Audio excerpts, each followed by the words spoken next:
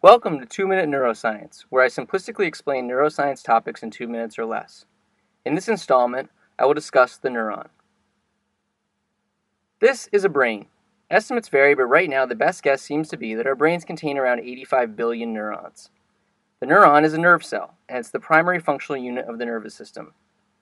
This is a generic image of a neuron.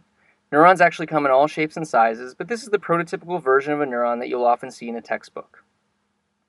The structures extending from the left side of the neuron that look a little bit like tree branches are called dendrites.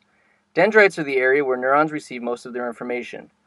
There are receptors on dendrites that are designed to pick up signals from other neurons that come in the form of chemicals called neurotransmitters.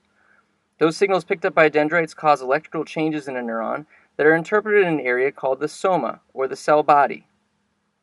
The soma contains the nucleus, which contains the DNA or genetic material of the cell. The soma takes all the information from the dendrites and puts it together in an area called the axon hillock.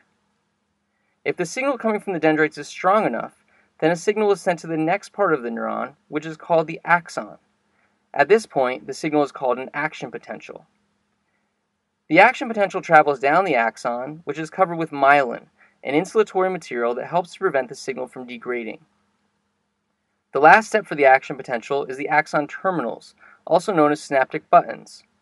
When the signal reaches the axon terminals, it can cause the release of neurotransmitter. These purple structures represent the dendrites of another neuron. When a neurotransmitter is released from axon terminals, it interacts with receptors on the dendrites of the next neuron, and then the process repeats with the next neuron.